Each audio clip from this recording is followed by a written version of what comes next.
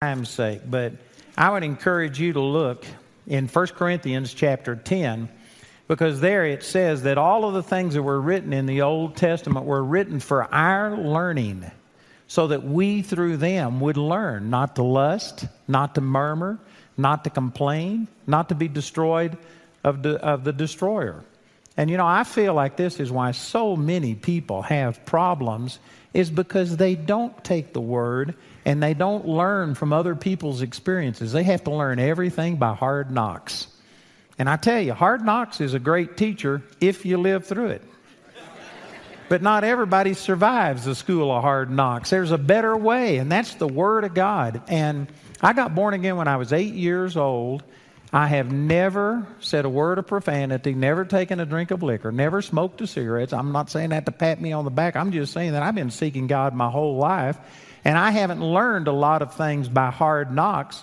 You know what? I went to the Bible, and I learned through David. This book I've got is entitled Lessons from David. I learned things through David about what adultery will do and how it destroyed his family. It cost a child his life, it cost multiple of his children their lives, and it caused terrible things. Tens of thousands of people died because of his adultery. And I tell you, I've learned these things vicariously through him, and I haven't had to learn them all through my own hard knocks. And I'm telling you, this is why so many people are having problems, is because they just don't let the Bible get in the way of what they believe. They're going to, you know, they and Frank Sinatra, they did it their way. Anyway, I hadn't got time to go through the whole thing, but I want to focus in 1 Samuel chapter 17 on David fighting Goliath. And there are lessons to learn.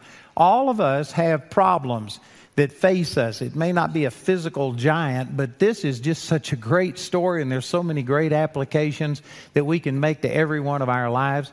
And the scripture says that God is no respecter of persons. If God will do this for David, he'll do it for you.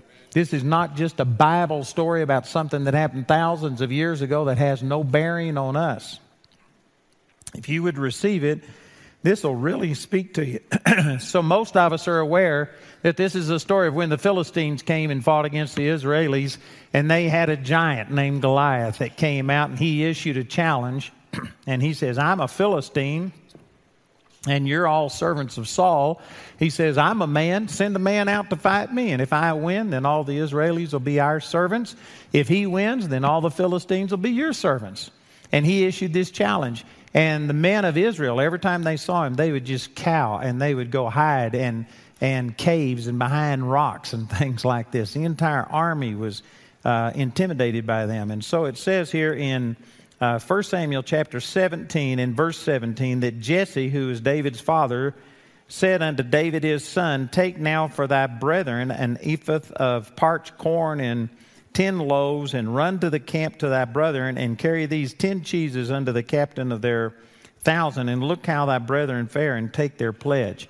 In other words, this is before the days of communication, the way that we have it today. And they, he was wanting to know how the brothers were doing in the battle. And so they sent the youngest one, David, out to see how they were doing.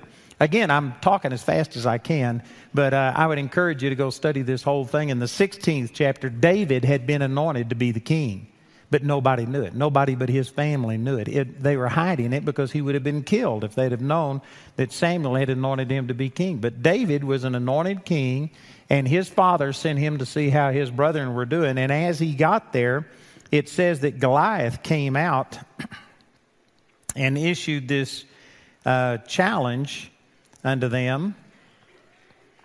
And uh, in verse 30, uh, 24, it says, And the men of Israel, when they saw the man, fled from before him and were sore afraid. And the men of Israel said, Have you seen this man that is come up surely to defy Israel? Is he come up? And it shall be that the man who killeth him, the king, will enrich him with great riches and will give him his daughter and make his father's house free in Israel. And David spake to the man that stood by him, saying, What shall be done to the man that take, uh, killeth this Philistine and taketh away the reproach of him from Israel? For who is this uncircumcised Philistine that he should defy the armies of the living God? Boy, there's so much here, but I've got to point out, he says, Who is this uncircumcised Philistine? You know, today most people miss this, but what he was referring to, circumcision, was a sign of the covenant. He's saying this man doesn't have a covenant. The reason that David had a different way of looking at things than everybody else is because he saw things in light of the covenant. And, brothers and sisters, there is, uh, we have a covenant today that is awesome. It makes what David had look like nothing in comparison.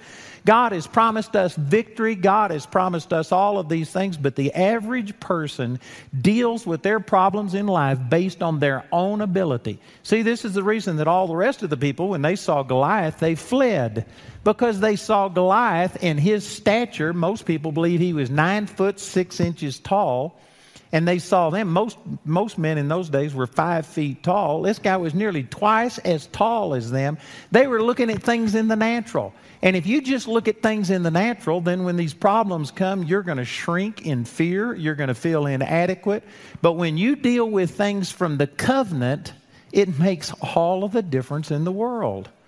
Did you know in 2008 and 2009, when we had what many people call the quote unquote Great Recession, that was the worst time in the world for ministries.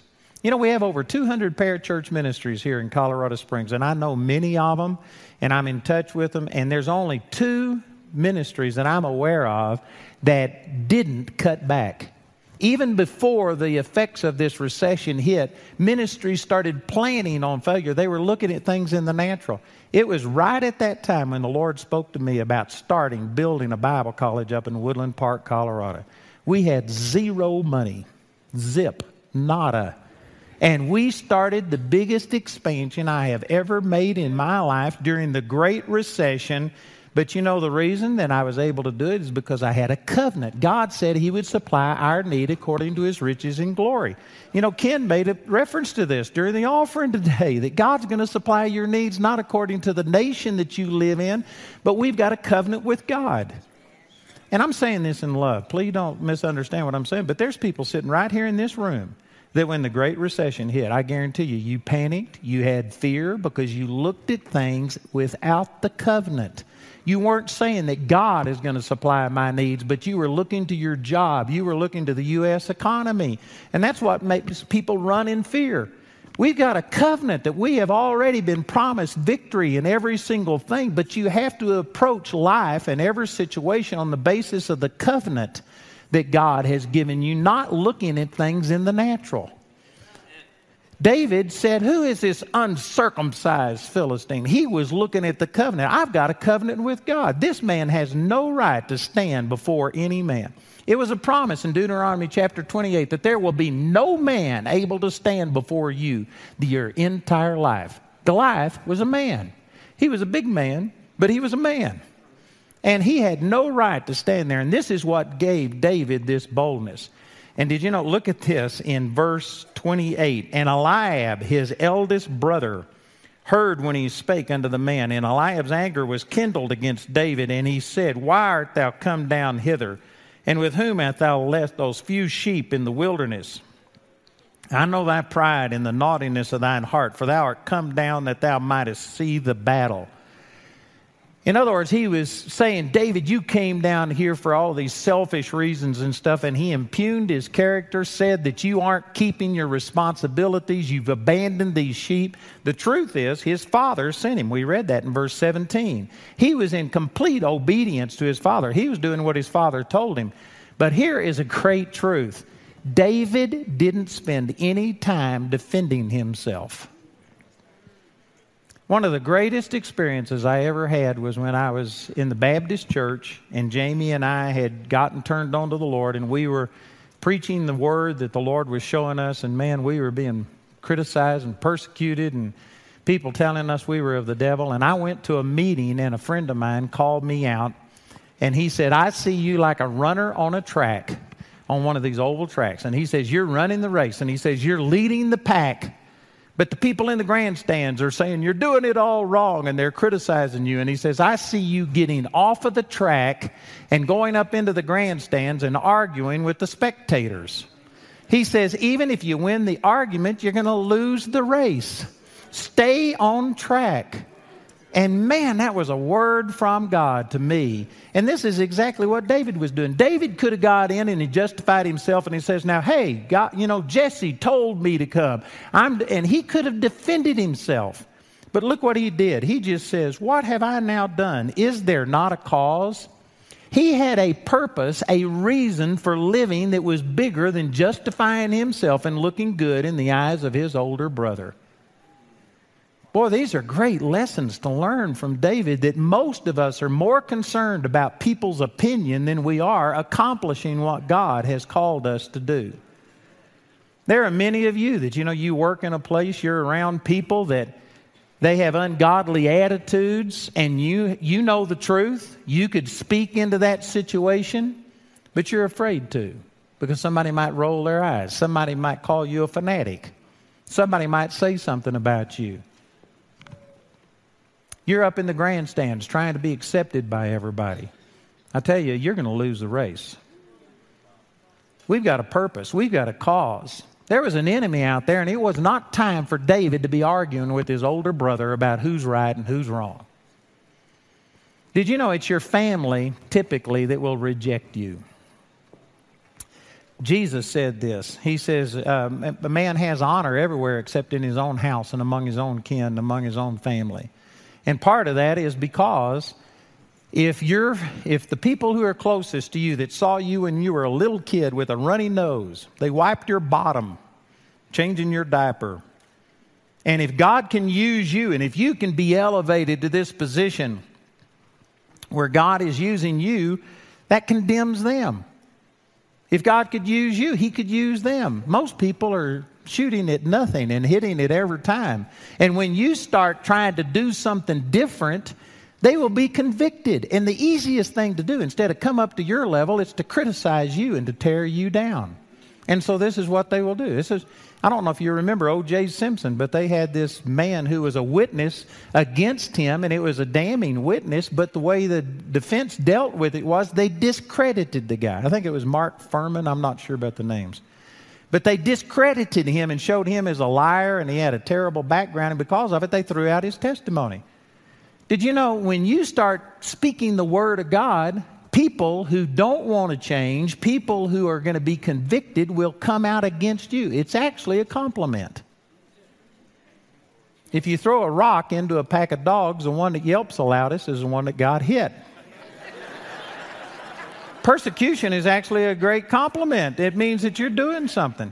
David, he didn't get into the grandstands. He wasn't arguing with his brother. He says, there's a, there's a cause. And it says right after this that he turned from him towards another and spake after the same manner, and the people answered him again. Now, notice this it was after he quit talking to his brother and repeated this that somebody heard it, and then they repeated it to the king, Saul, and brought David before Saul. If David would have been arguing with his brother, this person wouldn't have heard him say this, they wouldn't have repeated it to Saul, and David wouldn't have had the opportunity that he had. If he had been up in the grandstands, he'd have missed his opportunity.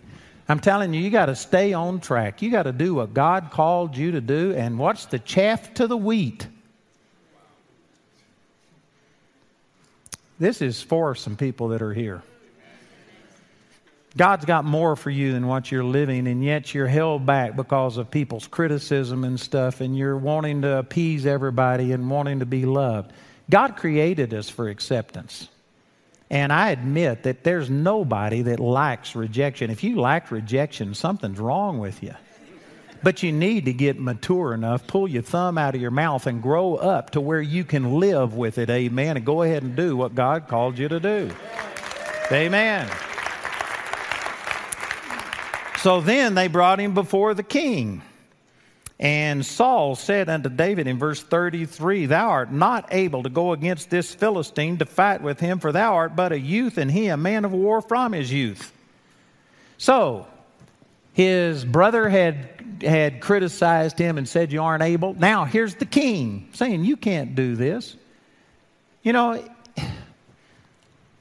if you if you are trying if the things that you are doing with your life if your goals in your life are things that you can do in your own strength and power if you can accomplish it with your ability with your gifts and talents then I can guarantee you, you have not found God's will for your life.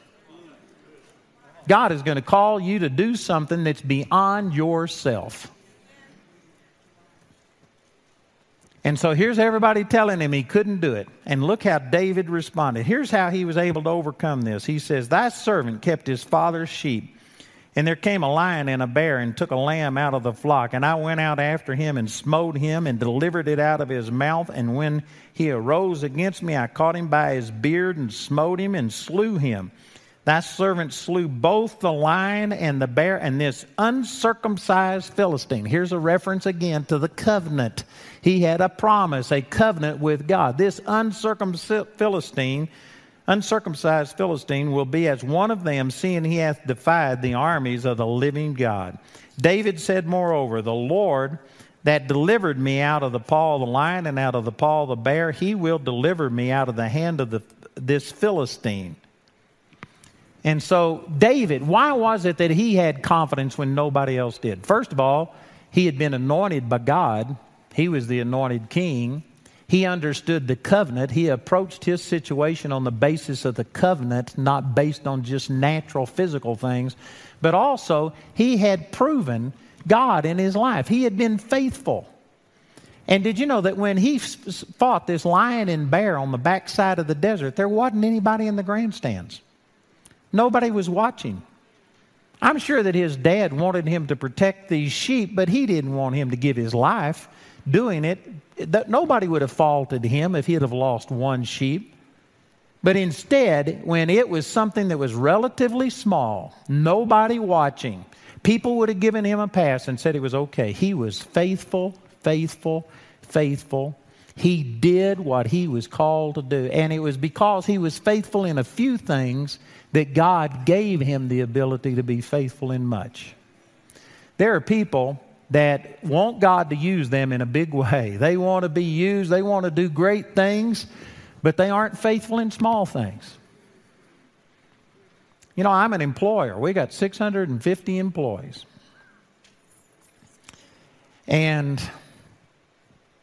you know what? I love my employees. It's not that I'm mad at them or anything, but you know, I notice people who are faithful. There are people that will show up five minutes after it's time to go to work, and they leave five minutes before it's time to leave. If you give them a 15 minute break, they're going to take the 15 minutes, and then after the break's over, they'll go to the restroom, take another 10 or 15 minutes. They aren't faithful. They'll take paper clips, they'll take pens, they'll take things because, you know, it's a big ministry. Who's going to miss it and stuff? You aren't faithful. And yet you're going to be faithful when the, you know, the grandstands are full and there's thousands of people watching you when it's something big. Oh, I'm going to be faithful, but you wouldn't be faithful in a small thing. That's the reason that God never opens up these other opportunities for you. You may think that that's a small thing, but I'm telling you, if you aren't faithful in that which is least, you won't be faithful in that which is much. If I can't jump from here to the front row, you ought to place money on the fact that I can't jump from here to the back row.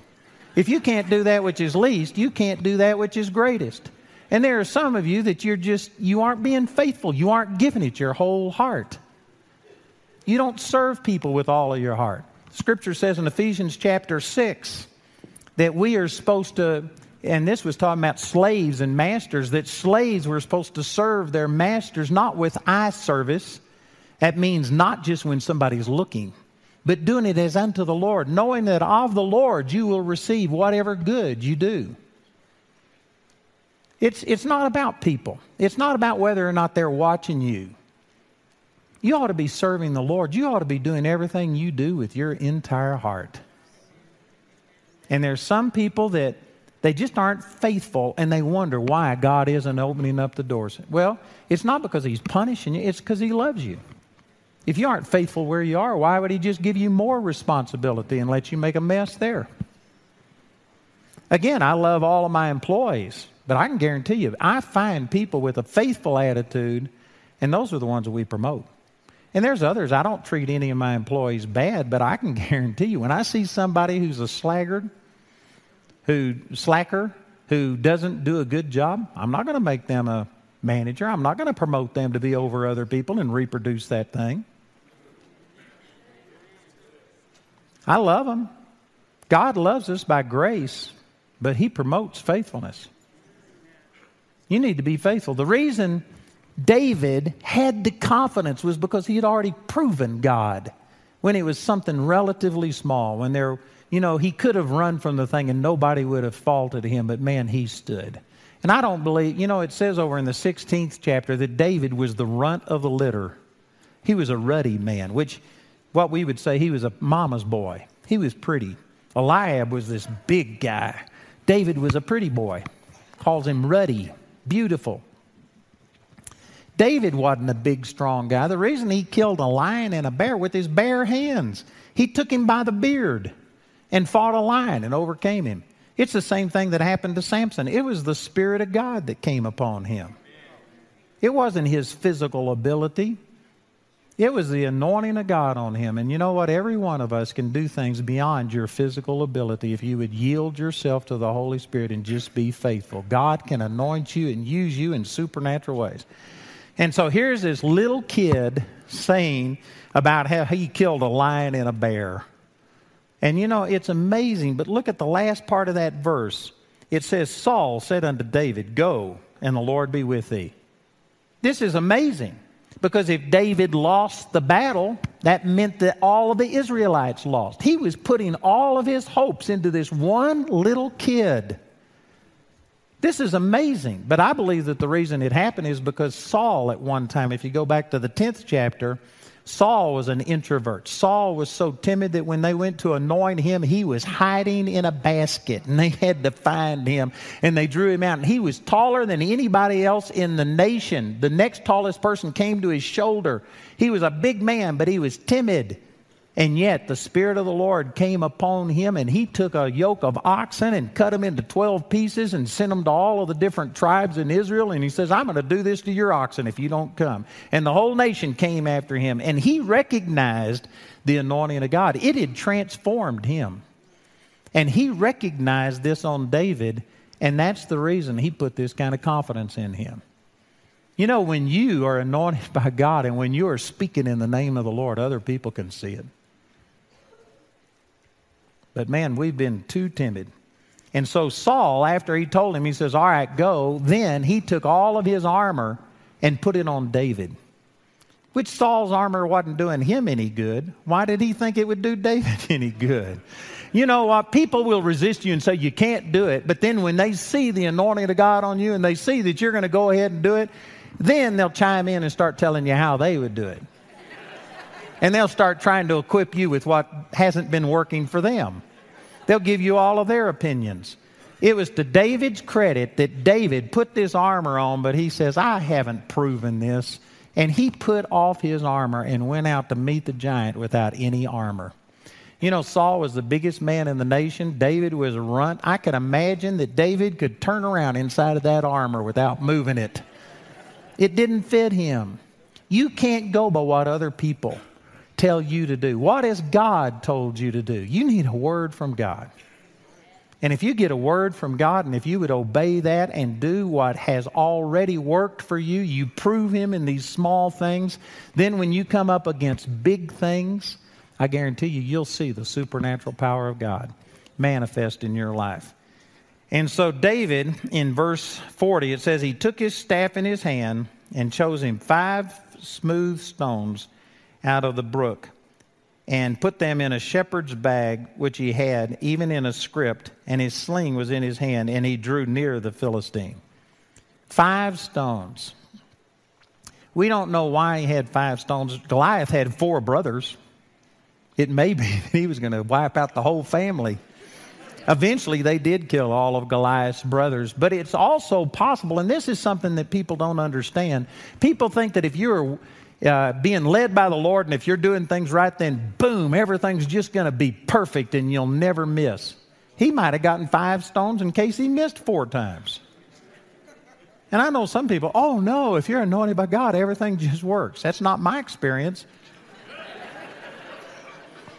you know, we moved into a building in Colorado Springs here, and it was a $3.2 million renovation, and the Lord told me to do it debt free. And at the rate money had been coming in, I sat down and figured it out. I'd have been 120 something years old by the time that we got that $3.2 million. But I went ahead and obeyed God. And we moved in 14 months after I began the project. But it was four months after school started. And we missed the goal. And so we moved in around November. And at the dedication of that building, I had a woman come up to me and she says, Are you discouraged? Has it bothered you that you missed it by four months?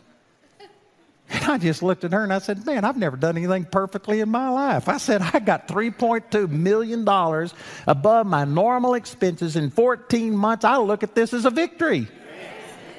It didn't work perfectly. It would have been better if it had been differently. we have got a building, a $53 million building, that we're going to be dedicating November the 3rd. But I'm shooting to be in there on uh, September when our school term starts.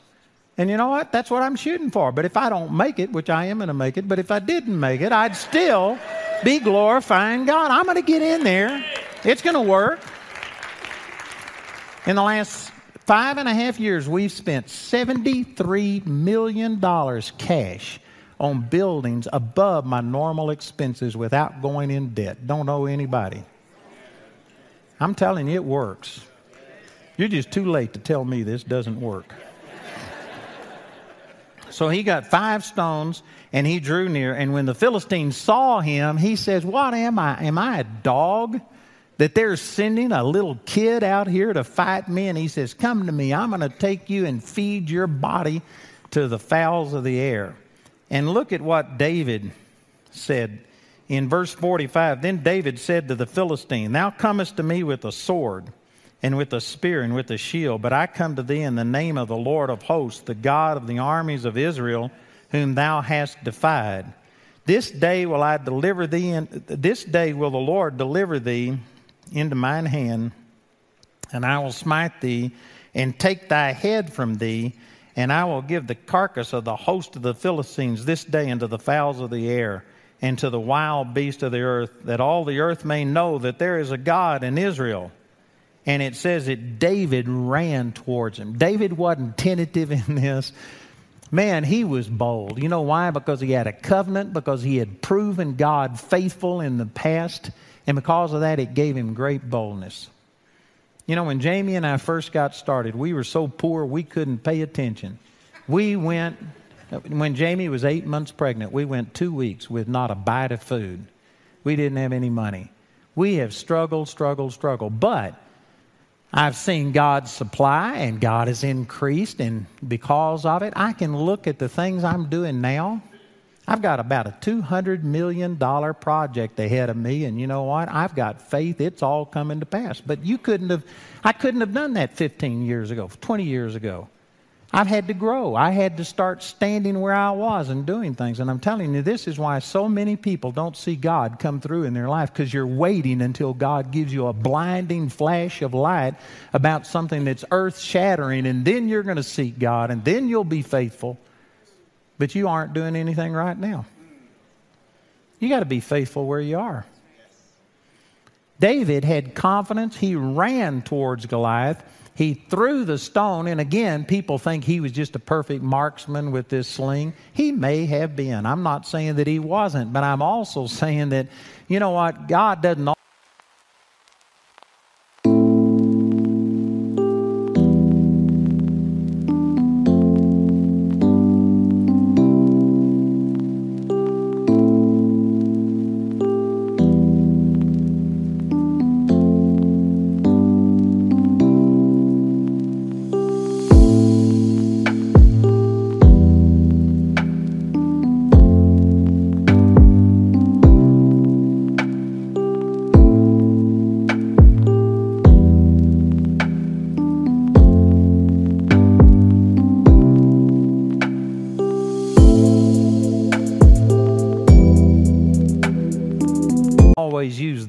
best and the brightest and everything. He takes the weak things of this world, base things of this world, things that are despised, things that are nothing to bring to naught things that are. 1 Corinthians 1 26 through 28. He takes people that don't have it all together and uses us in spite of ourselves so that when it works, He gets the glory instead of that person. I'm not sure that David was a perfect marksman. Plus, every time I've ever seen anybody uh, describe the helmets that people wore at this time, they had a, a thing that covered your forehead and specifically right here in between your eyes because that was a vulnerable part. So if it talks about Goliath having a helmet on, if he had a helmet on that covered his forehead, no, no stone would penetrate that without the supernatural power of God. I believe that David did what he could do and he threw the stone, but God made it penetrate that armor. God made it sink into the giant's forehead, and Goliath fell down. But here's another great lesson to learn from David. Did you know that the Philistines didn't flee when they saw Goliath fall down? I've been on the valley of Elah where this battle took place. And I mean, it's two miles, three miles up to the mountains where it says that the Philistines were on the mountains round about. There was this huge valley in between where the battle was going to take place. And I walked down to that little creek that went through, and I picked up five stones, and I stood there and looked at it and thought about all of this. And I can guarantee you, those people were so far away that when they saw Goliath fall, they didn't know if he was defeated. Maybe he just got knocked down. Maybe he could have come back again.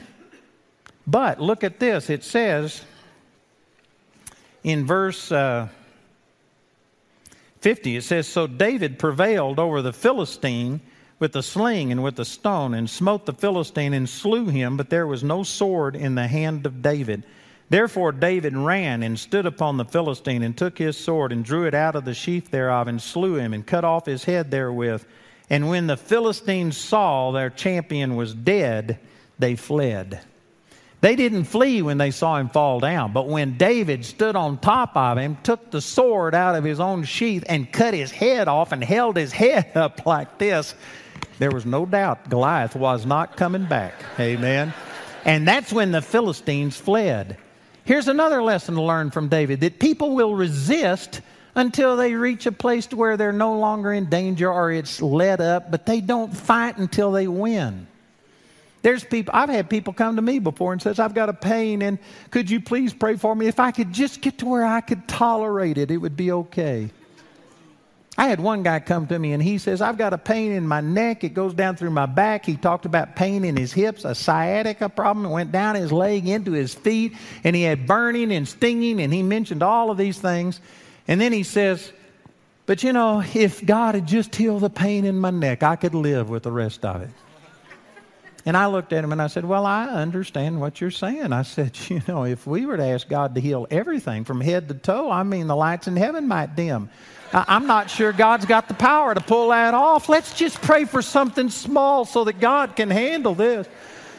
And boy, he looked at me and he said, That's pretty dumb what I said. I said, It was real dumb. It's stupid. But see, we just think, oh God, I, I need $10,000, but I could get by with a thousand. If you could just help me over this thing. What's wrong with you? Amen. Man, God is awesome. God is mighty. You need to not only fight sickness until you get to where the incurable things are done, but you could live with these other things and manage them. You need to get to where you live in total health. Moses was a hundred.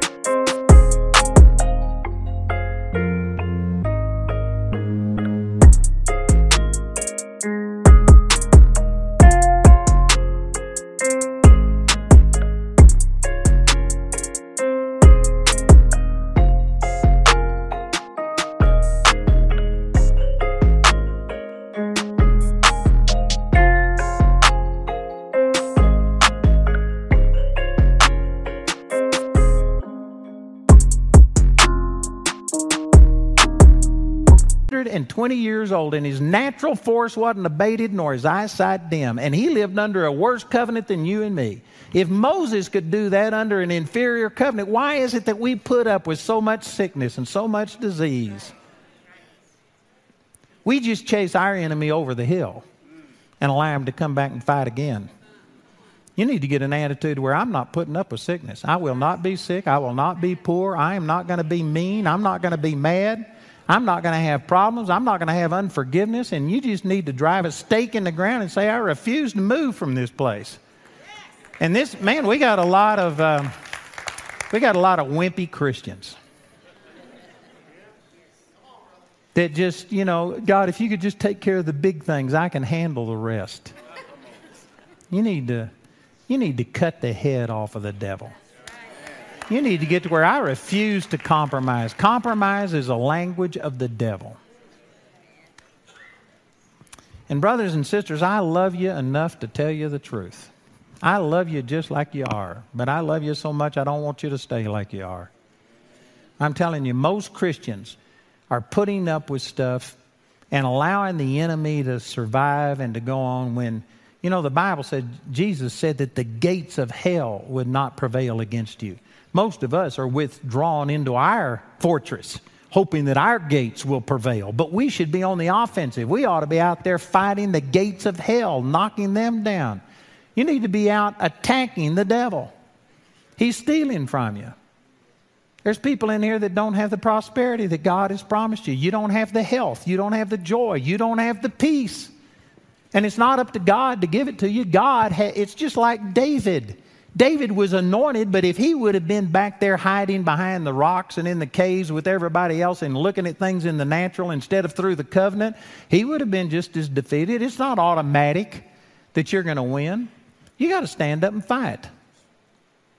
The Bible says, Be angry and sin not. Let not the sun go down upon your wrath. Ephesians 4 26.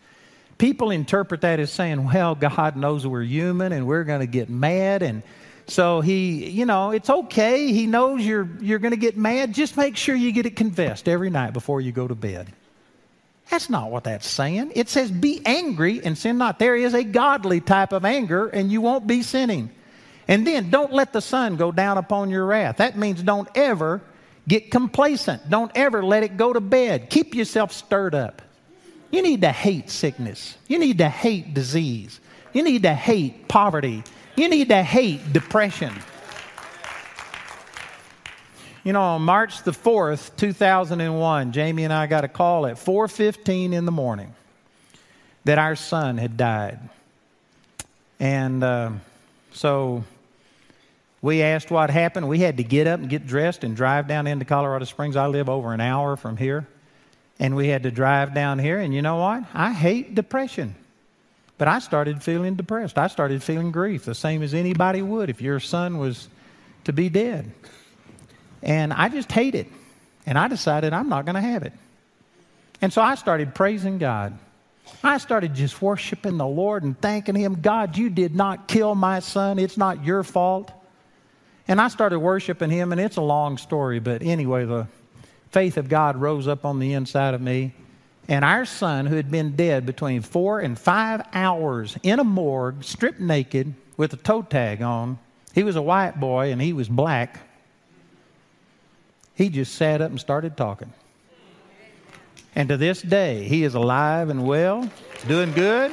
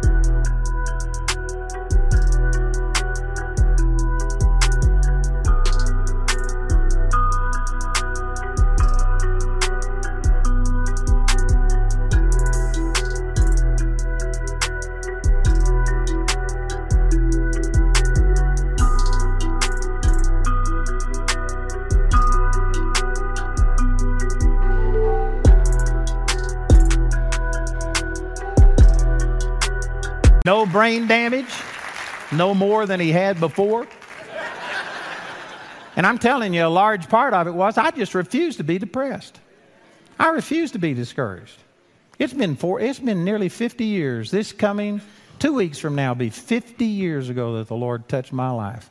And I hadn't been depressed in, in probably 48 years since the Lord taught me some stuff. I refused to be depressed. I refused to be discouraged. I refused to be sick. I hadn't been sick in 48 years except twice when I acted stupid. one time I ministered 40 times one week, and the next week I ministered 41 times. And I got so tired I had to crawl into bed, laid there for nearly 24 hours, and thought I felt good. I went out and split a cord of wood did too much too quick, and I got sick. That's just stupid. That's not sick.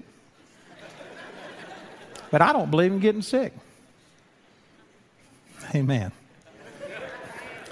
And I know many of you thinking, man, you're weird. Well, I think you're weird. To have a covenant, to have a covenant that promises you he heals all of your sicknesses, all of your diseases, and yet you put up with it. He supplies all of your need according to his riches in glory by Christ Jesus, and yet you put up with poverty. He's taken all of your griefs and carried all of your sorrows. In the presence of the Lord is fullness of joy. At his right hand are pleasures forevermore, and yet you will put up with being depressed and discouraged and fearful. I think that's weird. Why in the world would you not accept everything that God's got for you? Amen. I love you. I love you enough to tell you the truth, but I deal with a lot of people and brothers and sisters. There's not one out of a thousand Christians that are even have as a goal what God has set for them. Now, it's true that there's a growth process, there's a lot of things involved in it, but if you aren't shooting at the stars, I can guarantee you you're going to miss them. But if you shoot at the stars and miss and hit the moon, that's more than most people ever do. Amen. You need to start looking for the power of God operating in your life. And David is just a great example of a little kid that in the natural, he was the least qualified of anybody, and yet God used him. And did you know that this instance of killing Goliath is what catapulted him to a position of leadership? David became a king. He accomplished things that nobody else had accomplished. And here we are, 4,000 plus years later, talking about David because one guy just believed in the promises of God. One guy was fanatical. You know what a fanatic is? Somebody is closer to God than you are. He was a fanatic. He loved God. And I'm telling you, God's got big things for you. Praise the Lord. You know, I'm going to turn it back over to Pastor Ken, but I, he's going to give an invitation after he receives an offering. But I want to encourage you today that if God has stirred you up, do something. The Bible says faith without works is dead. If, if God has spoken something to you and maybe quickened some things and shown you some things and say, I need to do something, do something about it. Don't just walk out of here and by the time you get through eating, you forget what God spoke to you. We'll have a prayer team down here. Come and let someone pray and just say, you know what, I'm making a decision then I'm going for it. Man, I'm going to do what God called me to do. I'm going to get out of the grandstands and trying to justify myself, and I'm going to get on the track and do what God called me to do. And, and what's the chaff to the wheat? And you need to make a decision. If you don't know the Lord personally, man, this would be a great opportunity for you to come and realize it's only through the Lord that you're ever going to.